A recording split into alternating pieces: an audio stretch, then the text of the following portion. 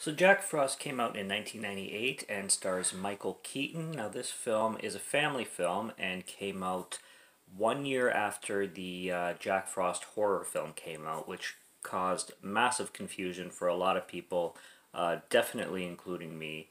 Um, I remember always being in search for the horror Jack Frost, but only being able to find this Jack Frost.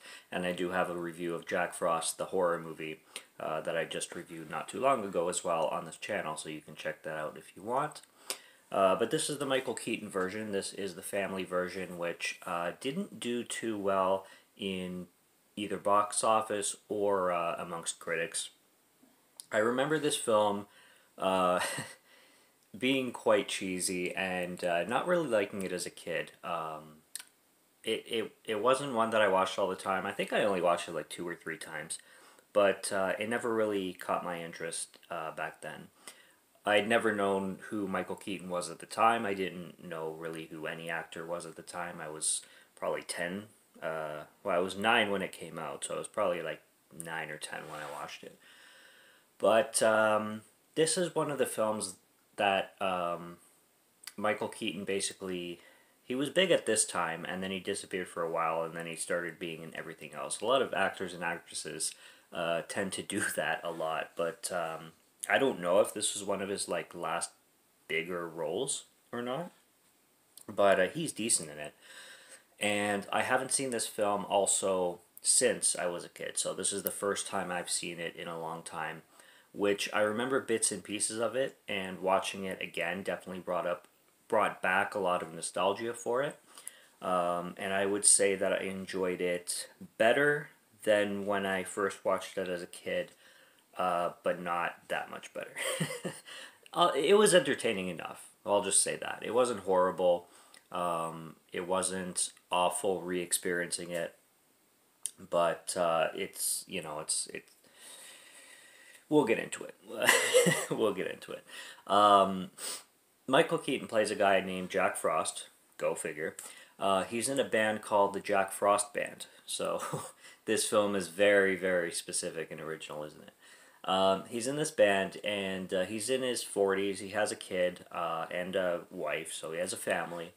And he's always on tour. He's constantly on tour, uh, touring with the Jack Frost Band, and they're trying to make it big he's never really caught a huge break. He has um, like he brings in enough income to support a family, obviously, although he's never home. Um, not really super close with his son. Um, they have kind of a strong bond ish. Like the son does have a lot of love and respect for his dad, but he's constantly disappointed. You got your, you know, trope. Dad's never there. Dad's always you know, never has time for, for Charlie, Charlie's little kid, Charlie Frost. And uh, they have that kind of dilemma. Uh, the film opens up with a really big uh, snowball war with Charlie and his school buddies and all the bullies at school, all the second graders who are older than Charlie. And it, um, it kind of plays off as your typical, like, aiming to be super comedy family film. Uh, this film is definitely targeted towards kids, and it uh, makes no apologies for it. It's semi, well, okay, it's very unbalanced. Um, it doesn't know how to balance comedy and drama in the perfect of ways. The first act completely, and especially the first like 10 to 15 minutes, is just scene after scene after scene that feels like the final scenes in films, like the the joyous, cheerful, like hurrah moments of films. Like there's a really corny scene actually that involves uh, Jack Frost coming home and uh, visiting his wife for the first time in a long time, and they kind of do this role play thing where he pretends to be somebody else, and she like role plays that her husband's away and stuff like that, and then he mentions her lip gloss and his lips or his, her lip chap or whatever, and his lips getting dry. And uh, then they have their like cheesy movie moment kiss, and the whole like opening of the film kind of plays out like that. So it's that kind of movie for sure. Um, but yeah, this this crazy ridiculous snowball fight is happening in the schoolyard where there's obviously no teachers around to stop these kids from destroying each other. Even one of the uh, Charlie, as a matter of fact, goes up to the main bully and just slams him in the face with a snowball, like to the point where in real life the kid would be hurt. But you know, kids movies in the nineties, late nineties. Um, I did like the bully being uh, pummeled in the face with that snowball, though. I really did enjoy that moment. Um, but anyway, the dad comes home from Denver, I believe, so where he was touring last, and he comes home. He gives his son Charlie a harmonica that he owned for a long time, and he claims to have bought when his son was born. And um, he tells him that like uh, he's going to be there for his uh, like the father's going to be tells his son Charlie that he's going to be there the next day for his hockey game for sure, which he obviously ends up missing. But um, he gives him this harmonica, which uh, which he got when his son was born, and he tells him that anytime he plays this harmonica, his dad will hear the harmonica at at any like wherever he is, wherever he is in the state, wherever he's playing, as if the if Charlie plays the harmonica, he'll uh, he'll always be able to hear it, kind of thing. Um, he gets a break where he, his band is going to be signed, but the only way to be signed is if he uh, goes to Aspen, Colorado, to uh, to play on Christmas Day, and there's really no way around this. The Charlie ends up like giving the harmonica back, saying he doesn't even want it anymore. Um, there's this weird scene where Jack Frost, he's going to uh, to Aspen, like he's driving down there with his buddies, only to turn around and come back and realize that he doesn't want to go anymore and he actually wants to spend Christmas with his family, like he should have done the whole time, which he should have just stayed behind. I don't know why he decided to go travel to Aspen just to change his mind, like not even halfway there. But regardless, uh, his buddy gives him the vehicle to come back home to where his family is staying at a cabin. And on the way there, um, he gets into a tragic accident and uh, it ends up taking his life. So um, it goes from really jolly and happy and uh, feel good to pretty tragic and pretty uh, devastating. So this kid loses his father. Um, and then it flashes forward immediately to a year later where the son is, you know, feeling the grief and uh, feeling like his dad was never really there for him to begin with, but um, really feeling the loss in kind of in in many ways because he lost his father at Christmas and um, you know only has certain memories here and there with him. But uh, one day he decides to build a snowman, and he builds this snowman with all of his dad's stuff, such as his scarf and um, his his jacket, his clothing, and he builds this in the yard and then he goes upstairs and he plays the harmonica. And uh, of course when he plays the harmonica the spirit of the father comes into the snowman and the snowman comes alive. And um, and then the rest of the film is basically his son realizing that the snowman is alive um, the snowman or jack frost because it has jack frost spirit trying to convince the son which he does pretty quickly and pretty uh, strangely. That you know it's dad in the in the snow uh, in the snowman, and uh, the rest of the film plays on like that. Now, Michael Keaton is really good in this movie until he's the snowman. It's really weird, and it's I don't understand the writing. See, he turns into such an immature, goofy, non-dad character when he becomes the snowman. There's banter back and forth between the son and the snowman, and it's like the son is being friends with like um like a like a like a a really oddly written creepy kind of immature childish snowman when Michael Keaton in the rest of the film before he became the snowman and even in a really touching final scene um, when he drifts away into uh, the afterlife or whatever. Um, he, he's very, like, he's very dad-like. He's very respectable, respectable, and um, and and very sweet and sentimental.